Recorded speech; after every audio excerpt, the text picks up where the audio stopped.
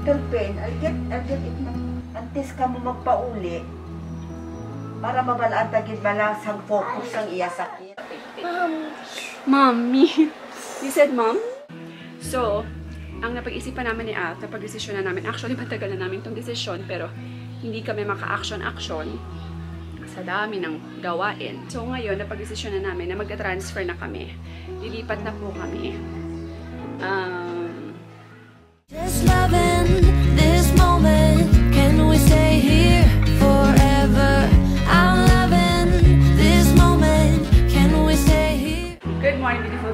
Sana talaga nagpo-focus, eh, no? Okay, here. Aryan! Good morning! Hi! Mwah! May kiss sa umaga. Ay, kailangan. Lobat ako, be. Breakfast tayo. Pinakurat baka naman. Mami, bye-bye, ha? Yes, mommy. Baba. Ang haba naman ng puso. Ayan, mga besh, kakatapos ko lang mag, ano, mag photoshoot. Hindi pa rin ako. Nag-lunch lang ako quick kasi kailangan namin dalhin si Aryan sa si Aryan, si Arya hospital. Sobrang lapit lang. Paglabas lang ng ano namin, ng village mission. So, meron itong pedia. Sana makaabot kami. Until 5 lang yung pedia. Eh, kailangan ko kasing mag-post. May nahabol akong mga bills, you know. So, kailangan ko mag-post. Also, um, so, ayan. Kailangan talaga namin ipacheck si Arya, guys. Kasi yung lagnat niya talagang hindi umaalis. Ah, yeah.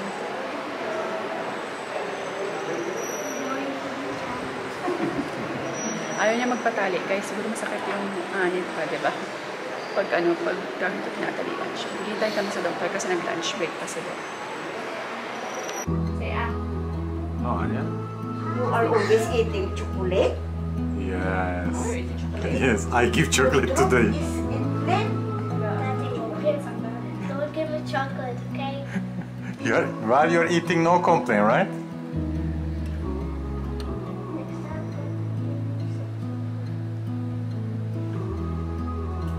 Next time, don't give give you the, ano ha, yung, tong, tabi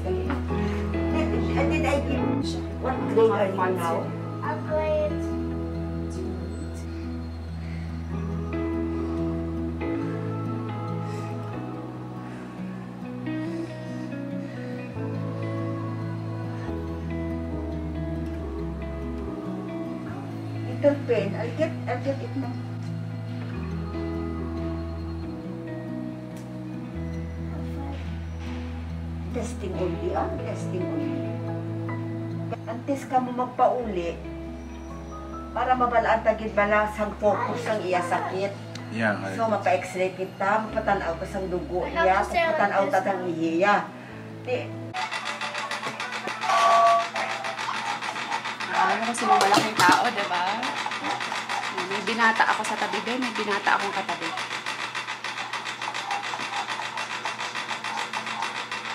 Nalipasan ako ng gutom today. Kumalma ka, Eunice. Huh, nahapo ako, be. Huh. Umakyat kasi ako. Anyway, tara! Nakikita nyo yan mga yan, be. Mm, diba? Kasi finally, finally, after 48 years, magta-transfer na kami, be. Lilipat na kami. Lilipat na kami ng kwarto. Akala nyo saan kami lilipat, be. Wait lang. Finally, guys, lilipat na kami ng kwarto. Kasi, ulit-ulit yung kasi. Etong kwarto namin to, ito yung main na kwarto na. Sobrang laki kasi nito, guys. Eh, normally, natutulog lang naman kami dito, di ba? Hindi naman siya ginagamit, hindi naman kami tumatambay, ganyan. So, um, kaya lang, kasi, dito ako nagpo-photo shooting din, di ba? Dito sa corner na to.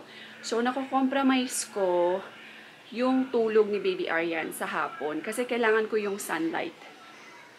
So, minsan, para lang makapag-photoshoot ako talaga, um, ini-skip ko yung afternoon nap ni Baby Aryan, which is not good, diba? So, ang napag-isipan namin ni Al, napag-desisyon na namin, actually matagal na namin itong desisyon, pero hindi kami maka-action-action sa dami ng gawain. So, from, so ngayon, napag-desisyon na namin na magta-transfer na kami. Lilipat na po kami.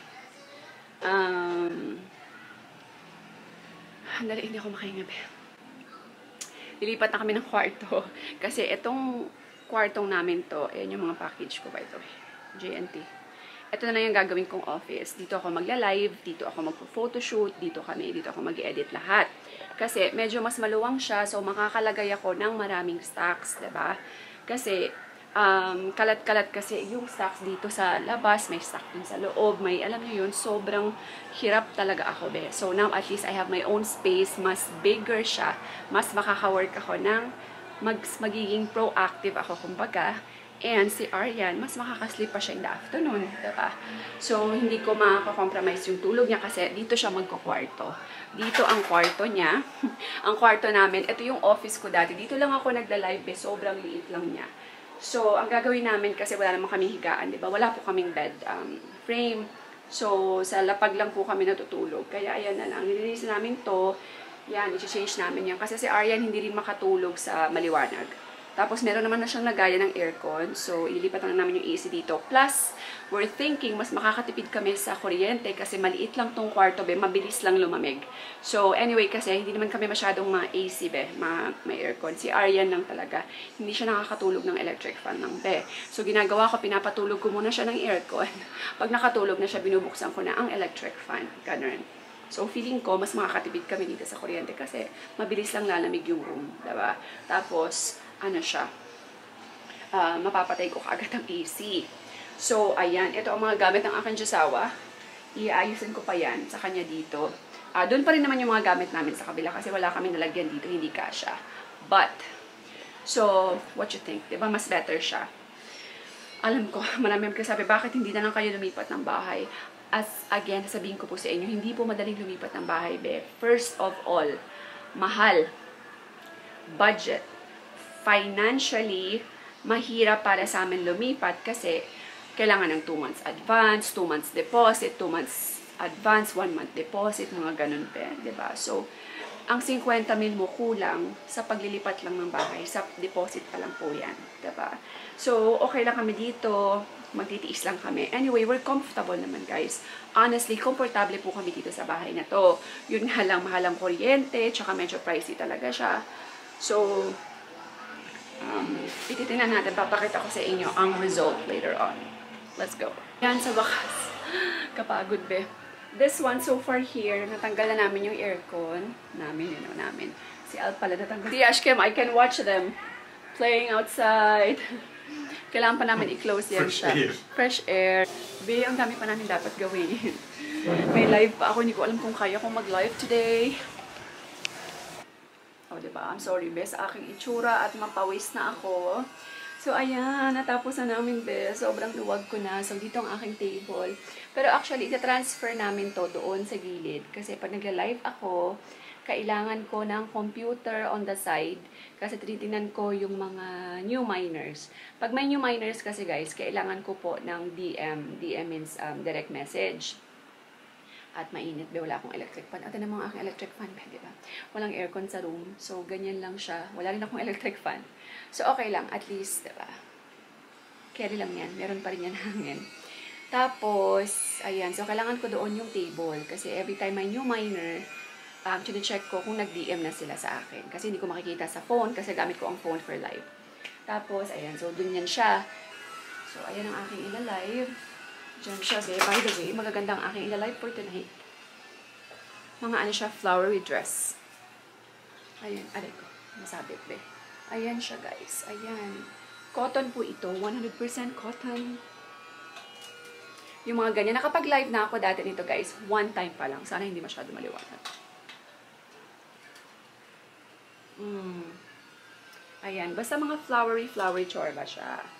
Tapos, wait lang. Ayan, oh, see? Ganyan. Anyway, I'm so much comfortable. Nakalipat na rin kami, finally. Akala mo naman ko saan lilipat, diba? Ang akin lang kwarto, be. Lumipat na kami ng aming kwarto.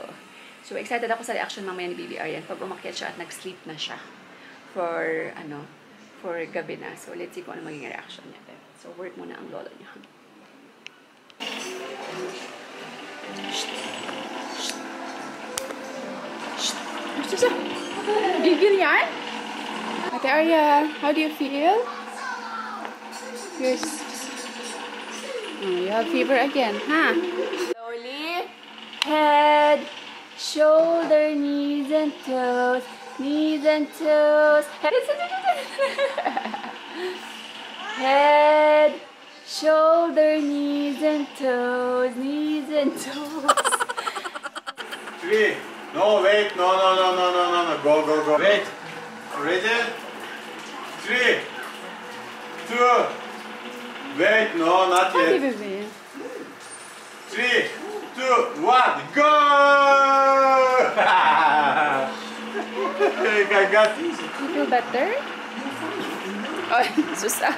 We feel better. I'm so okay. ha? I'm so okay. Ayan guys, akyat na si Arian finally. Nagpe-prepare kasi ako for my live. So medyo maluwang na siya. Pero hindi ko pa tapos. Ayusin ko pa yan. Tingnan natin yung reaction ni Arian. From clothes. Tingnan natin, tingnan mo. Punta na siya dun sa kwarto. Oh, oh, where's your bed? Where's your bed? No, no. Where's the bed? Uh-oh. Hanap niya guys. Where's your bed? Come, come, come. Here's your bed. Come. We have a new bed. Where's your new bed? Come, come. Dali, go to your room. Other. Oh, thank you. What? Yay! That's, oh, di ba? Ang ganda, di ba? Ano, masyado kaming ano, organize ang aming mga bed sheets. Hello Kitty and Gray. You like it? Huh? Do you like it? Tsura niya, guys. You like your new room? It's more... Yay! Is this, is this, where's your dada? Where's this? You like your new bed? Nice? Nice? Yes? Nice? Mom. Mom. Mommy. You said mom? Mommy. Mommy. Boom. Ito, gustong gusto niya binilalaro. Sige na, dali na live pa si Mami.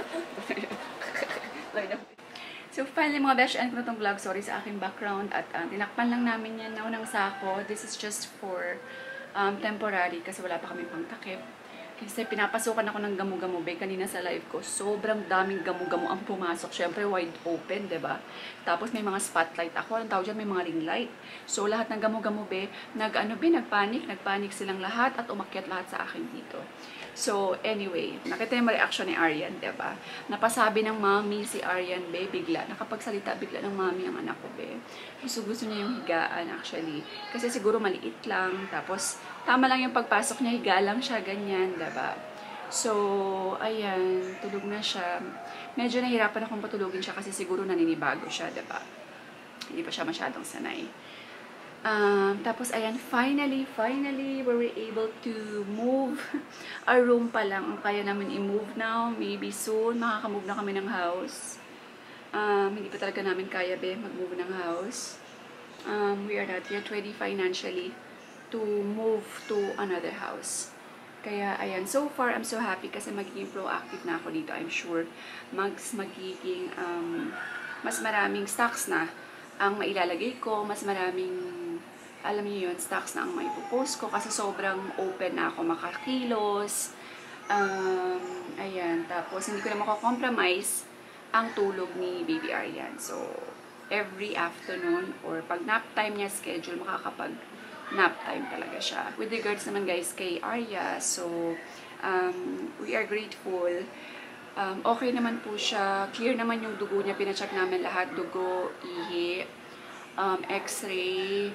Um, sa dugo niya, clear naman, malinis, walang dengue, walang anything na um, to be alarmed. Kaya lang po is, um, sa x-ray niya, meron po siyang mild asthma. So, ayan. Um, kasi si Alt actually guys is my asthma.